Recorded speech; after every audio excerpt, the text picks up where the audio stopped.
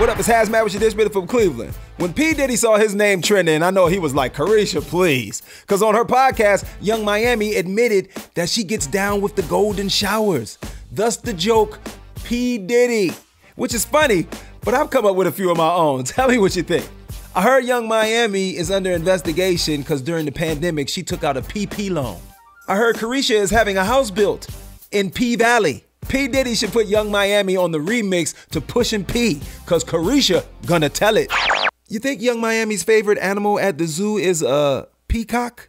I heard P. Diddy owns a lot of little tiny guns cause he likes to pop people with pea shooters. I know R. Kelly in jail rapping like finesse two times. It's cool when they do it. It's a problem when I do it.